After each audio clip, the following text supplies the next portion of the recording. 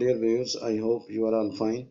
This ultrasound video shows scanning of a female patient, scanning of the genitals, and you can see the urinary bladder, uterus, and a small mass in the proximal portion of the uterus near the cervix, close to the anterior wall.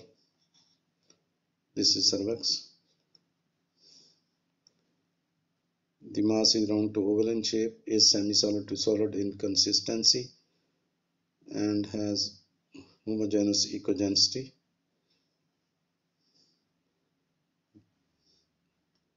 This is uterus, this is the cervix, and this one is the mass,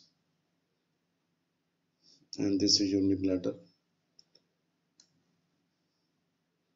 And this mass measures about 21.4 millimeter into 18.4 millimeter.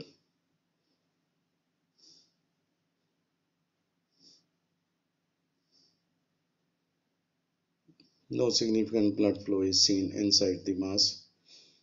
Now you can see the large ovarian mass, uterus, and this is the left ovarian mass.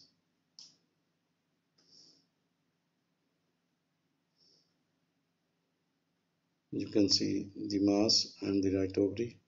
And this is the larger mass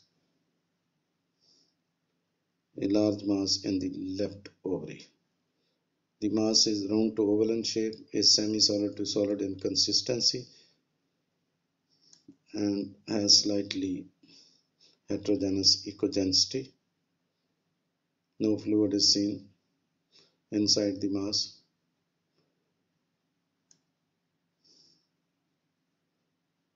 You can see the echogenicity is heterogeneous. This is left in mass.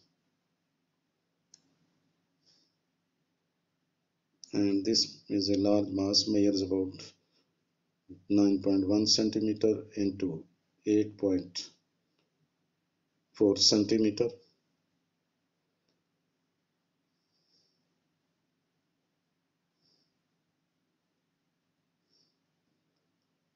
now you will see the blood flow inside the mass.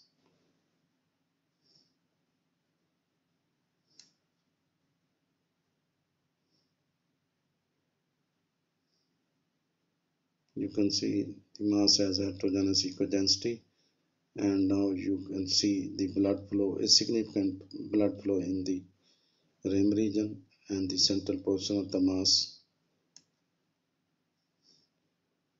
Again you can see the blood flow. Thanks for watching. Please subscribe my channel. If you do like this video please click